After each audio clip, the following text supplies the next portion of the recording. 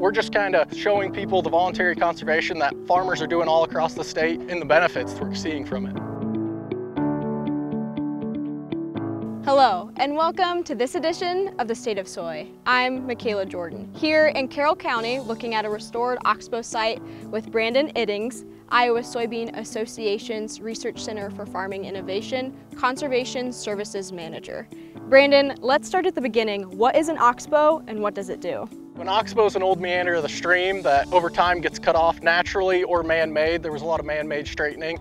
The ones we're on today were actually naturally cut off, so over time the ends of the oxbow get filled in with sediment and kind of form a plug.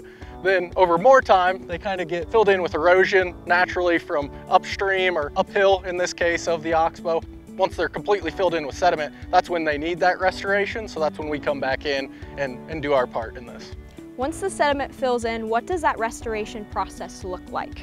First, it's kind of just me kind of moving up and down online, looking at maps, kind of figuring out where these oxbows are, then reaching out to the landowner saying, hey, you have this opportunity. We want to help you with it. We want our partners to help you with it. We kind of start going through that process, start working on design, start talking about what's the restoration going to look like. Like most of the time, it's just re-digging that old scar out. So you're going down to the old stream bed. It's usually four, six feet deep usually. And then you hit that old gravel sand layer. The dirt from the oxbow is really good black dirt. We usually put it right back out in the crop fields, um, kind of on those sandy knobs. One farmer told us uh, he was seeing the year after we did the restoration anywhere from 10 to 20 bushels an acre increase in his yields. That's incredible. With those increases in bushels along with restoring the conservation practice that is an oxbow, what benefits can farmers and landowners see with restoring an oxbow? Yeah, so as you can see in the back here, we have a tile coming in. So the, one of the biggest things we're doing on these oxbow restorations is the water quality benefits. A lot of these fields are pattern tiled over here in Carroll County. So we dump the tile into the oxbows. We have heavy soil types, so it's holding a lot of water. So getting some of that water out and into these oxbows, it creates an area for the water to be slowed down, some of the microbes in the soil and the plants to uptake those nitrates, clean up that water before it gets to the stream. Usually on average, they're talking 62% of the nitrates removed from the oxbow. In these last couple years, oxbows have been going dry.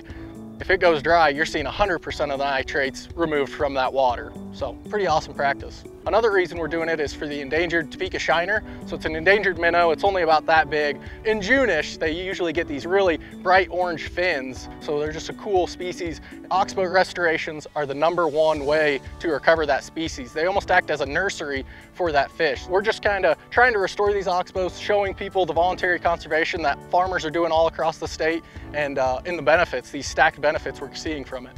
With Earth Day right on the horizon coming up on April 22nd, now is the perfect time to think about conservation efforts and improving water quality. If a farmer member or landowner is interested in having an oxbow restored, how can they go about getting that done? If they contact me and you have an oxbow on your ground, I, I, I can pretty much promise I'll get somebody in contact with you who can, who can help you do your restoration. Go to your local NRCS office, talk to your district conservationist. Those people are awesome, they'll help you out. Your local IDALS staff is another perfect example. Um, Fish and Wildlife, TNC, there's so many great conservation partners out there that if you're interested in conservation, go find one and these people are so excited to work with you.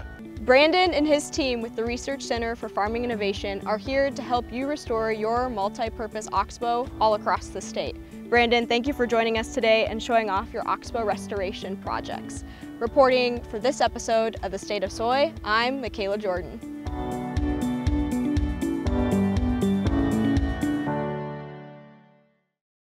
Farming is a competitive business, and you need equipment you can count on every single day. That's why for nearly 90 years, farmers have entrusted their grain handling to Brandt Agricultural Products. Brandt's full line of hardworking conveyors, augers, grain carts, vacs, grain bagging equipment, and tillage equipment are made to deliver the competitive edge you need to lead the field and are manufactured here in the USA. For more information on our full line of products, visit brandt.ca today.